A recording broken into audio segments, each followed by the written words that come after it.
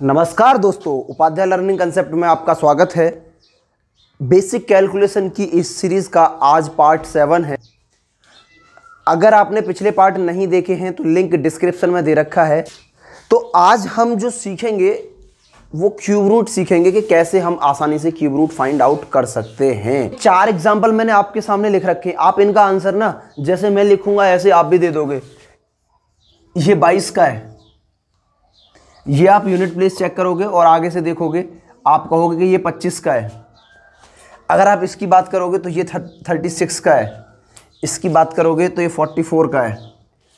इतनी आसानी से ही आप निकाल पाओगे। तो आपने ये जितनी आसानी से ये मैंने लिखे हैं ना, मैं आपको गारंटी देता हूँ कि आप भी इतनी आसानी से ही लिख पाओगे। मैक्सिमम आप पाँच सेकंड का समय लोगे, चार से पाँच सेकंड का। ये मैक्सिमम टाइम बता रहा हूँ, लिखने में आंसर, ठीक है? बस उसके लिए आपको कंसेप्ट समझने की ज़रूरत है। कंसेप्ट एक बार समझ लिया, सब मामला फिट हो जाता है, ठीक है?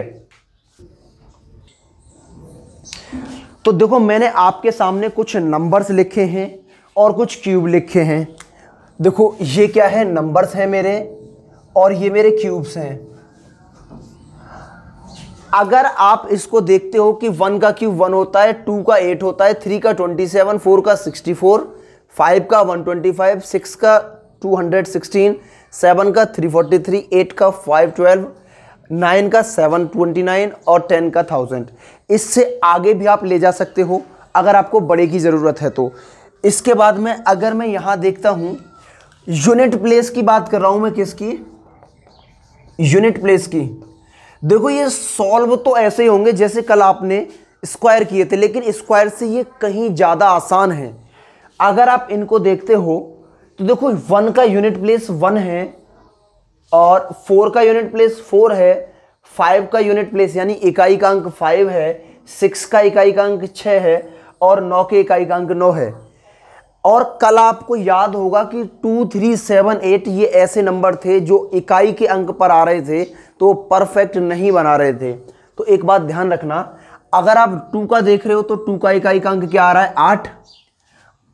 टू का मैंने आठ लगा दिया और आठ का कितना आ रहा है? टू ऐसे ही तीन का कितना आ रहा है? सात और सात का कितना आ रहा है? तीन। तो यहाँ सबसे बड़ी बात यह है कि आपको ये चेक नहीं करना कि प्रत्येक के टू डिजिट आ रहे हैं। यहाँ प्रति इकाई का अंक जो है वो फिक्स है। उस पर वही आंसर फिक्स होगा। अगर ये है तो इनका यही रहेगा। टू है तो एट हो जाएगा। एट है तो टू हो जाएगा। थ्री है तो सेवन हो जाएगा। सेवन है तो थ्री हो जाएगा। बात क्लियर हुई? मैं आपके सामने कुछ एग्ज़ाम्पल लिख रहा हूँ। तो आप अगर यहाँ देखोगे तो मैंने कुछ एग्ज़ाम्पल आपके सामने लिखे हैं, जो पहले लिखे थे। आप भी देखेंगे कि तीन सेकंड से ज़्यादा का समय आपको नहीं लगेगा। पहला स्टेप आप पेयरिंग करो और आपको पता है कि इस बार तीन की पेयरिंग की जाती है। तीन तीन तीन डिजिट के पेयर बनाए जाते हैं और इधर से ही बनाए जाते हैं। बचे हुए को एक अलग पेयर बना लो। ये तीन डिजिट का एक पेयर बना लिया, ये अलग बना लिया। अच्छा आपको पता है कि अगर इकाई का अंक आठ है तो मेरा आंसर क्या होगा? इकाई का अंक आठ है तो आठ वाले का क्या है? टू। तो यहाँ मैंने टू लिख दिया। यानी ये जो तीन का पेयर है, इसकी जगह आ गया टू अब आप इस टेन को चेक करो कि ये किस क्यूब की लाइन की नज़र में आ रहा है क्यूब के बीच में. तो आप देखोगे कि ये टू और थ्री के क्यूब के बीच में आ रहा है, यानी आठ और सत्ताईस के बीच में आ रहा है. जिनके बीच में आता है, उनमें से छोटा नंबर लेते हैं. ये हमने स्क्वायर में भी किया था तो इसका छोटा नंबर क्या आ जाएगा? टू यहाँ से मैंने टू ले लिया, यही मेरा आंसर है. पंद्रह हज़ार छः सौ पच्चीस। अब देखो यूनिट अगर यूनिट डिजिट फाइव है, इकाई का अंक पाँच है तो मेरा आंसर तो पाँच होगा। बात क्लियर हुई? अब ये तीन के पेयर के स्थान पे तो पाँच आ गया। अब पंद्रह को चेक करो कि पंद्रह कहाँ जाएगा। पंद्रह आप देख रहे हो तो फिर से टू और थ्री के बीच में ही लाई कर रहा है। तो जब टू और थ्री के बीच में लाई कर रहा है, उनमें से हम छोटा नंबर पिक करते हैं तो इसकी जगह क्या आ जाएगा? ये टू आ जाएगा। पच्चीस, यही मेरा आंसर है ट्वेंटी फाइव इसके बाद में अगर आप इसके पेयरिंग की बात करते हो तो छः का यूनिट प्लेस क्या था? छः ही था। और ये तीन के पेयर की जगह तो छः आ गया। अब बचा हुआ जो पेयर है, इस पेयर की जगह पेयर को चेक करो कि ये कहाँ लाई कर रहा है। आपने चेक किया कि ये पेयर आपका 27 और चौंसठ, यानी तीन और चार के बीच में लाई कर रहा है। तीन और चार के बीच में लाई कर रहा है। जिनके बीच में लाई करता है, जिनके बीच में ये नंबर आता है, उनमें से छोटे वाले नंबर को लेते हैं। यानी यहाँ पे क्या आ जाएगा? मेरा थ्री आ जाएगा। इस वाले 46 की जगह और आंसर मेरा 36 हो गया। इसके बाद में ये मैं चेक करता हूँ। पेयरिंग की तीन का पेयर बनाया। चार किसका होता है? चार चार का ही होता है। और ये 85 फाइव कहाँ लाई कर रहा है? तो चार और पाँच के बीच में लाई कर रहा है।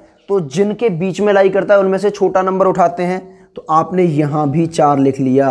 यही आपका आंसर है। बात समझ में आई? इसके बाद और एग्ज़ाम्पल देखिए। और देखिए ये तीन एग्ज़ाम्पल अब देखो, यहाँ पे फिर से हम पेयरिंग करेंगे। तो ये छह का क्या होता है? यूनिट प्लेस छह ही होता है। एक सौ पिचहत्तर, पाँच और छह के बीच में लाई कर रहा है। जिनके बीच में लाई करता है, उनमें से छोटा नंबर लेते हैं। तो फिफ्टी सिक्स अब आप इसको देखिए। आपको पता है जिसका यूनिट प्लेस तीन है तो उसका क्या होता है? सेवन तो इसका तो सात आ जाएगा। तीन सौ चेक कर लो। तो छः और सात के बीच में लाई कर रहा है तो उनमें से छोटे वाले नंबर को पिकअप कर लो, इसकी जगह छः आ जाएगा। तो आंसर कितना हो जाएगा? सिक्सटी सेवन इसके बाद में पेयरिंग कर लो। अब आपको पता है कि नौ तो नौ का ही होता है। और चार सौ तिरानवे आपको पता है कि सात और आठ के बीच में लाई कर रहा है। तो जिनके बीच में है, उनमें से छोटा ले लिया। तो यहाँ सेवन हो गया। नोट कर लीजिए आंसर, सेवेंटी नाइन। और देखिए ये तीन एग्ज़ाम्पल यहाँ जब आप इनको देखोगे तो फिर से पेयरिंग और पेयरिंग में आपको पता है कि नाइन अगर यूनिट प्लेस है तो इस वाले पेयर के नीचे तो नौ आ जाएगा। 704 कहाँ लाई कर रहा है? आठ और नौ के बीच में लाई कर रहा है। उनमें से छोटा नंबर उठा लो। तो ये इस वाले पेयर के नीचे आठ आ जाएगा तो नवासी आपका आंसर होगा। सात है तो यूनिट प्लेस क्या हो जाएगा? तीन हो जाएगा। तीन का सात और सात का तीन होता है। आठ सौ चार कहाँ लाई करता है? आठ सौ चार नौ और दस के बीच में लाई कर रहा है। तो इस वाले पेयर की जगह क्या आ जाएगा? नौ। अब आप इसके लिए देखिए। भाई थ्री है तो थ्री फिर से सेवन का हो जाएगा। और इस वाले पेयर की जगह तो सेवन आ गया। अब ये वाला पेयर देखो कहाँ लाई कर रहा है। सात और आठ के बीच में लाई कर रहा है। सात और आठ जिसके बीच में लाई करता है, उनमें से छोटा नंबर लेते हैं। तो यहाँ भी मेरा सेवन आ जाएगा। तो ये आंसर कितने का हो जाएगा? सतहत्तर का। बात क्लियर हुई? देखिए, और ये बड़े एग्ज़ाम्पल देख लीजिए। देखो, तीन का तो मैंने एक पेयर बना दिया। बचा हुआ जितना नंबर है, वो सब एक पेयर में चला जाएगा। ये सब का सब एक पेयर में चला जाएगा। अब यहाँ देखो फोर तो फोर का ही आंसर आता है। अब ये ग्यारह सौ चौबीस कहाँ लाई कर रहा है? ये दस और ग्यारह के बीच में लाई कर रहा है। दस और ग्यारह के बीच में लाई कर रहा है, इसका मतलब छोटा नंबर पिकअप करना है। छोटा नंबर मेरा क्या आ जाएगा भाई? दस। क्योंकि ये दस का है तो ये 104 मेरा आंसर आ गया। अब ये, अगर आप इसको देखते हो तो देखो नौ का, जिसका यूनिट प्लेस नौ है, उसका आंसर भी नौ रहेगा। और ये बारह सौ पिचानवे, फिर से दस और ग्यारह के बीच में ही लाई कर रहा है तो इसमें से भी आप टेन पिक कर सकते हो, क्योंकि छोटा नंबर ही उठाना है। आंसर कितना हो गया? एक सौ नौ। तो इसका आंसर क्या था? एक सौ चार और इसका आंसर क्या था? 109 तो आपसे मैं ये उम्मीद करता हूँ कि आप लोग ये अच्छी तरीके से समझ पाए होंगे। अगर आपको 14, 15, 16 तक का याद है मैं आपसे यही कहूँगा कि 20 तक तो क्यूब याद कर लें ताकि कि देखिए कितना लंबा नंबर अगर आप 20 तक याद कर लेते हो तो कितनी आसानी से निकाल पाओगे। ठीक है? अब आप इनमें से मैं कुछ एग्ज़ाम्पल आपके सामने लिख रहा हूँ उनका आंसर मुझे कमेंट बॉक्स में करना है, ठीक है? आप लिस्ट देख लीजिए। तो ये पाँच एग्ज़ाम्पल हैं, इनके आंसर मुझे आप कमेंट बॉक्स में करोगे और ये भी बताओगे कि आपने कितने समय में निकाले। हाँ आपको हो सकता है कि स्टार्टिंग में स्टेबल को याद करने में थोड़ा सा वक्त लगे, लेकिन ये धीरे धीरे सारी चीज़ें आपकी समझ में आ जाएँगी। लगता है कि ये वीडियो आपके लिए यूज़फुल है तो चैनल को लाइक करें सब्सक्राइब कर लें और वीडियो को शेयर ज़रूर किया करें। सब्सक्राइब करने के बाद में बेल आइकन को ज़रूर दबा लें ताकि कि आपको मेरी नोटिफिकेशन मिल जाए। और मैं वीडियो पर डे डाल रहा हूँ। और अभी आने वाले समय में ये एक दिन में दो वीडियो, तीन वीडियोस चलेंगी। ठीक है? क्योंकि अभी ये शुरू हुआ है तो थोड़ा सा समय लग रहा है। आप बिल्कुल पेशेंस रखिए। अर्थमेटिक के चैप्टर्स भी जल्दी आएँगे। ठीक है? Thank you class